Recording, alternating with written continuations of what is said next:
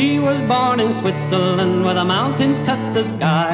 But he wanted to be a cowboy out on the prairie wide. So he came over from Switzerland and he learned to rope and ride. And when he hit the saddle, boys, you could hear him yodel high.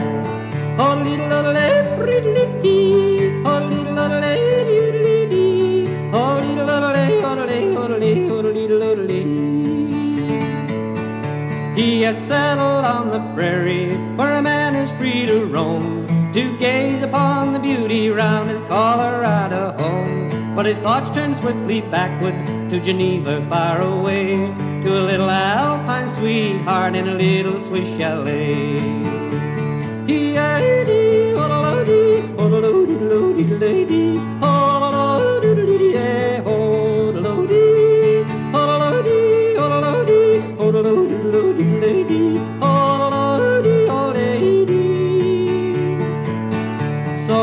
night he wrote a letter to a little Miss Swiss Miss.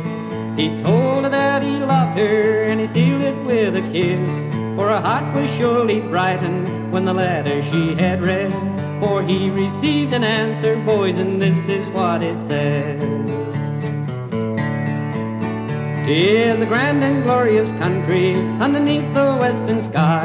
The flowers are blooming and the mountains are so high. No finer place than heaven, you know I'll see you soon. We'll settle on the prairie, have a cowboy honeymoon.